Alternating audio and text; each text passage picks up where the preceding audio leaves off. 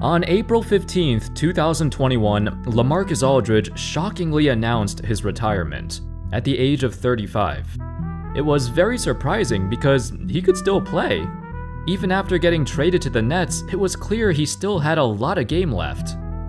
But if you know his history of heart problems, this really should not come as a surprise.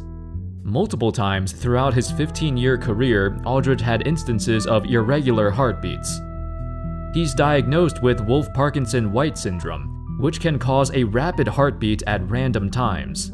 This is a condition called heart arrhythmia, and we've seen it pop up every few years with him. The scary thing is, it would happen randomly. One minute he'll be fine, the next minute he'll struggle to breathe. He was forced to sit out a lot of games because of it. How's it going folks? My name's Andy, and today we're gonna take a detailed look at LaMarcus Aldridge, a perennial all-star, but how good was he actually? How was he perceived from fans and other players? Was he a true superstar? Also, if you enjoyed the video, make sure to subscribe. But hey, if you like the content, drop a sub or a like, and thank you so much for the support. Coming into the NBA, Aldridge joined the Blazers at a time when they were rebuilding, but fortunately, they made some very smart trades. On draft night of 06, they acquired the number 2 pick to take Aldridge, but also had the number 6 pick to draft Brandon Roy.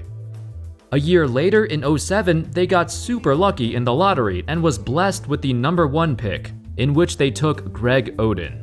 In hindsight, it looked like a bad pick, but it was widely known that Oden was going first back then. Within two years, the Blazers acquired the three cornerstones of their franchise. The three guys who would lift the team out of mediocrity, develop together, and make a run for the title. Or so we thought. Injuries absolutely demolished Roy and Oden, which left Aldridge all by himself. On the bright side, it might have been a good thing for him. Up until Damian Lillard got drafted, Aldridge was the lone star on the squad, he got more opportunities now, and he developed into an all-star, a consistent 20 point per game threat. One of the biggest criticisms of Aldridge prior to the draft was that he was, quote, soft. Although that label was kinda unwarranted, I prefer the term big man with finesse. That was him. Early on, he was not that physical. He didn't like pounding other players down low. He didn't like that brute force, that bruising style of play that fans expect out of a big man. For that reason, he didn't want to play center for a long time, despite his coaches encouraging him to do it. When Aldridge would score on you, it was due to his footwork and his smooth turnaround jump shot, not by ramming his shoulder into your chest. Draft writer Aran Smith said this about him on his scouting report prior to the draft. Scouts still have some question marks about his toughness inside. He is vastly improved in that area, but still struggles against big and strong players on the NCAA level. Not a physically imposing player inside, plays more a finesse game. That was quite accurate for his NBA career too. Over time, Aldridge continued to play this style, preferring to play outside the paint than inside, but uh, this slowly drew some criticism. Now, we all know Aldridge liked shooting mid-range shots in Portland, maybe a little too much. We all knew he liked taking fadeaways and turnarounds, but the truth is, those are the least efficient shots in the game. Bear in mind, Aldridge, well, he was still hitting them at an above average rate. For example, from 2008 to 2015, Aldridge hit 41% of his shots between 10 and 16 feet, and 42% from 16 feet to the three-point line. For a mid-range jumper, those are good percentages, but overall, it's not very good, and he took too many of them. That's also why his true shooting percentage and his effective field goal percentage were all pretty mediocre for a guy of his size. His efficiency was actually below average for his position. His preference for taking jump shots also hurt other areas of his game, like his free throw rate. The most free throw attempts he averaged in any season of his career was only around 5 per game. For a 6'11 guy averaging over 20 points a game, that's pretty bad. Because Aldridge didn't like playing down low, he didn't draw as many fouls. One of the biggest strengths of a post-dominant player is to draw fouls on the opponent's big men. but Aldridge was missing out on that advantage. This was the most common criticism of his game, just his unwillingness to play down low. Although his shot release was very helpful to his game, he had a very high release point and combined with his height, it was nearly impossible to block him, similar to someone like Dirk Nowitzki, who also has a super high release. At times, it felt like Aldridge was settling too much for the jumpers.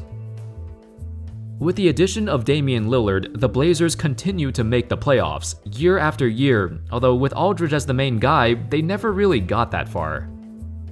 While Dame and LaMarcus packed a furious two-man punch, it wasn't all sunshines and roses. In fact, their relationship was, well, according to most reports, they never really had a relationship. It was kinda weird. According to Sam Amick, he wrote an interesting perspective on Aldridge during his time in Portland. For years, the rumblings that Aldridge wasn't happy with his place in the Portland spotlight were always there. First, it was Brandon Roy stealing his thunder, then Greg Oden before his ill-fated fall. And then this young and dynamic talent named Damian Lillard whose star rose far too quickly for Aldridge's liking. He routinely turned down interviews or didn't maximize off-court opportunities of which Lillard would take full advantage. He is known as the private type, the kind of player and person who prefers to play his game and let someone else handle the lion's share of the leadership duties. Except, of course, until someone does just that, reaps the benefits of it, and kickstarts the cycle of jealousy that had everything to do with his departure. Those were some strong words there. Granted, we don't know the exact circumstances that went on behind the scenes, and I'm not sure if all of this is true. However, after Aldridge left the team to sign with the Spurs, Lillard was asked about their relationship and he admitted, I wish it was more like a brotherhood, but it wasn't his personality to reach out. As a younger player, I came into the league wishing and thinking he was going to take me under his wing, like his little bro. I had confidence in myself, but I wanted Aldridge to be like, man, let's go eat. You are going to be good, you are going to be an all-star. I wanted him to talk to me like that, but he didn't. Anyway, in San Antonio, Aldridge revitalized his NBA career. I mean, it's not like he was getting worse, but he adapted into a new system and accepted his new role at center. Over the years, he also put on an extraordinary amount of muscle. Once known as a lanky guy, Aldridge became incredibly strong. In 9 years, he put on over 40 pounds of muscle. By his later years, he was known as one of the strongest players in the league. In San Antonio, he started taking more shots at the basket, he was more willing to play closer to the basket, and bought into the game plan. Even so, there were still some mishaps. There were some years when Aldridge felt uncomfortable, and trade rumors were common to hear. Him and Kawhi were probably not the best fit together, especially personality-wise. Neither of them took charge, as a result, Aldridge struggled in multiple playoff runs and got heavily criticized for it. Overall, he still had arguably his best years in San Antonio though, especially around 2018 to 2019. It was around this time where he displayed the most complete package we've ever seen. Offensively, he still had that smooth jump shot and all the finesse back in Portland, but he did not just settle for jumpers. He also mixed in a dominant presence in the paint. Because he was a lot stronger than he used to be, he was fine playing against centers and he dominated them. Defensively, he was much improved and actually made a name for himself as one of the best defenders in the paint. Even back in Portland, his defense was very overlooked, despite being very good at positioning his body. Honestly, he probably should have made at least one all-defensive team at some point. So how good was LaMarcus Aldridge actually? He was pretty damn good. At his peak, he was a top 3 power forward in the league, although if we rank him all time, he's still a huge step below the more notable names. Of course, he was nowhere near as dominant as guys like Dirk, or Duncan, or KG. But Aldridge was still a perennial all-star in a hyper-competitive conference. He was never the most athletic or the most flashy guy, but he made use of the skills he had a fluid offensive player who adapted his game over time and became a dominant inside presence later in his career. Aldridge finished with 7 All-Star selections and 5 All-NBA nominations, with almost 20,000 total points. Unfortunately, the championship has always eluded him. His best chance at the title was either in 2017 if Kawhi did not get hurt, or in 2021 with the Nets. Unfortunately, he couldn't stay around long enough to be with them. As for the question of if he was really a quote superstar, I would say no. He was an all-star, but to be a superstar, you have to have, you know, some level of changing the game, and a certain level of fame and notoriety that most NBA players do not get. Aldridge, while most people know him if you're an NBA fan, he didn't really have a huge cultural reach. Among his peers, he was well respected. After he announced his retirement, there was a flood of players paying their respects. His number 12 jersey will, without question, be retired in Portland. Anyway, that's all folks. Let me know your thoughts on LaMarcus Aldridge. Where would you rank him among power forwards of all time? It's a pretty stacked list, but I'd say he might squeeze into the top 20. Maybe.